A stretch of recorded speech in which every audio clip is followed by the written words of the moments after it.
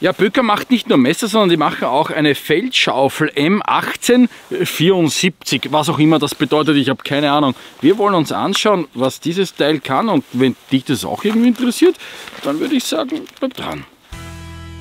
Hallo, willkommen, da ist der René Rossmann, schön, dass du dabei bist. Da ist sie nun, diese Schaufel, original ausgepackt, habe noch nichts damit gemacht.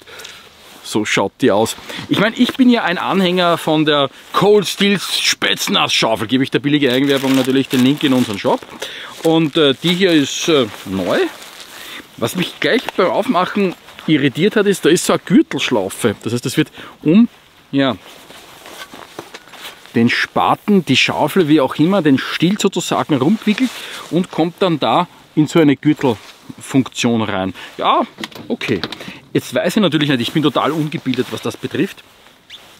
Gibt es da irgendein ein Vorbild? Ist das irgendeine Militärschaufel wahrscheinlich? Weil M, Militär, 1874, dass die 1874 eingeführt worden ist als Feldspaten-Schaufel. Ich habe keine Ahnung. Wenn du das aber wissen tust, dann schreib mal gerne einen Kommentar.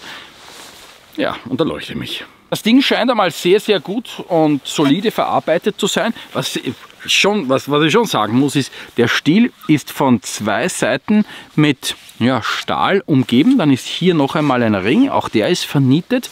Vorne schaut alles vernietet aus. Also die ist irgendwie massiver gebaut als meine gute alte Spätzner Schaufel. Es tut mir leid, dass ich auf die stehe, ist ja egal. Aber wir werden schauen, ob diese M1874 Böker Schaufel auch wirklich graben kann. Also was mir gleich einmal auffällt, ist, das Schaufelblatt ist einfach größer. Während bei Spätzner Spaten das irgendwie so herzförmig abfällt, ist da einfach viel mehr dran.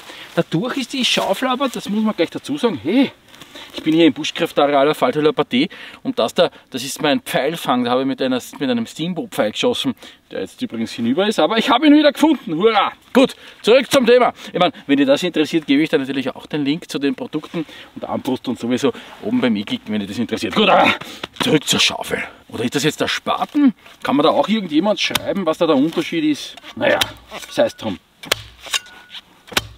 Sie hat auch viel Hack- und Hau-Möglichkeit, also das ist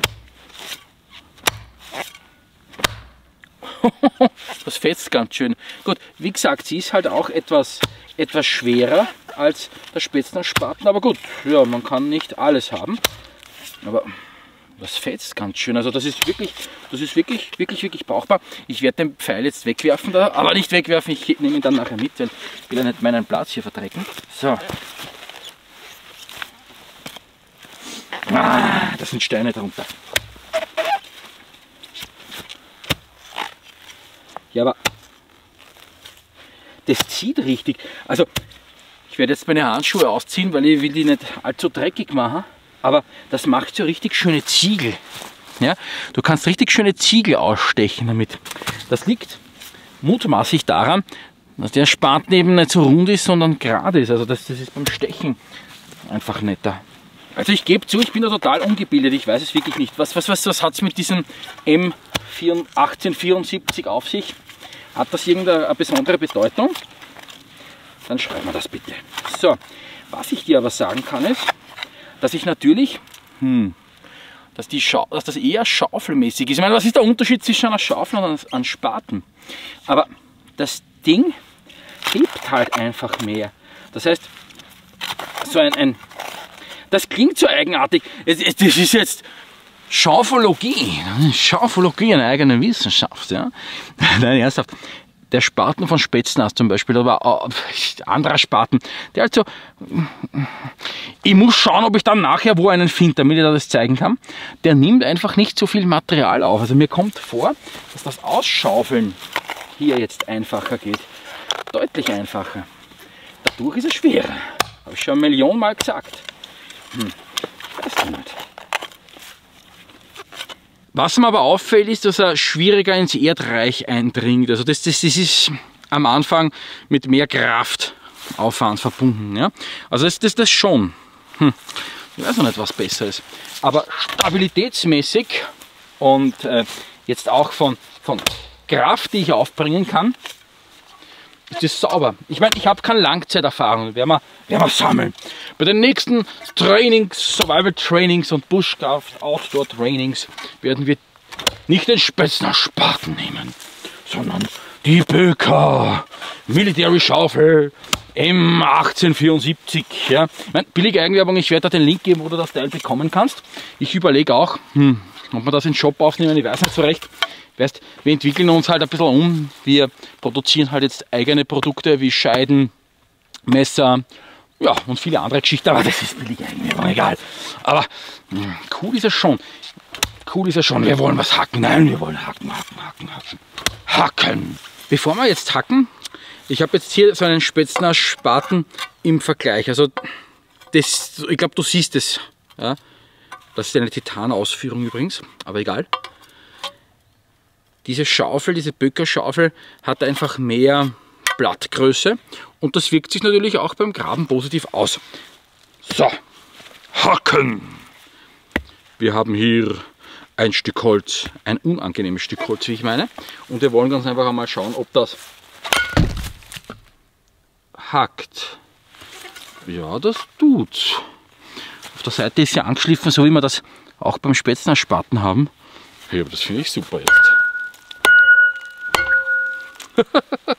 Das hat so Spaß gemacht, das will ich gleich noch einmal probieren. Aber das ist durchgegangen wie Butter. Alter. cool. Was halt mit dem Hacken passiert ist, dass diese schwarze Beschichtung, die da drauf ist, äh, runtergeht. Und ähm, also es ist schwer zu sagen, wie sich dieser Stahl auf Dauer verhält. Ja.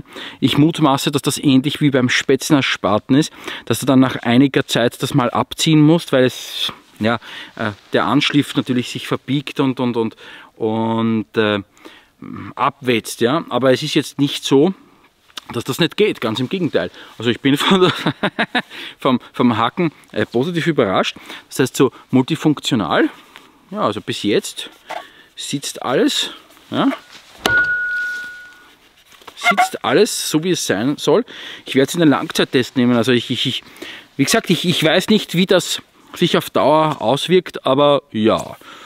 Ja. Und was ich halt cool finde, ist, dass im Standardlieferumfang so eine Scheide mit dabei ist. So, genau. So mal rumwickeln und dann ja, wie ein Gürtel einschlaufen. Wie lange das haltbar ist, ich weiß es nicht. Sicher halten, ja, schaut zumindest so aus. Es ist ein bisschen fummelig, aber jetzt nicht so, dass man sagt, man braucht ja, extrem hohe feinmotorische Fähigkeiten, das auch wieder nicht. Ja. Also ich habe sogar mit den Handschuhen zusammengebracht. Und dann gibt es da oben zwei Schlaufen, ich weiß nicht, gehört das da drauf kinkt irgendwo auf einen Rucksack eine Gürtelschlaufe ist nicht drauf. Ich weiß es nicht, ja. Ich weiß es nicht. Ist einfach so. Aber es ist im Lieferumfang dabei, denn das ist bei der Spätz, beim Spätzner Spaten von Cold Steel nicht der Fall. Da gibt es einen, Zusatz, den es natürlich auch bei uns gibt. Da kannst du es dann am Gürtel hängen, was ich persönlich nicht so cool finde, aber sei es drum. Ja, also den ersten Test hat sie jetzt mal bestanden. Wir werden sie in den Langzeittest nehmen und ich werde dann hier am Kanal berichten. Daher Abo dalassen, Daumen nach oben und dann werden wir ganz einfach sehen, was es mit dieser Schaufel auf sich hat.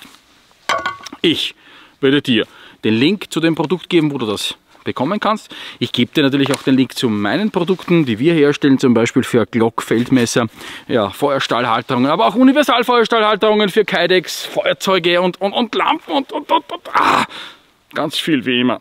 Dein Reini Rossmann. Bis dann und ciao, ciao.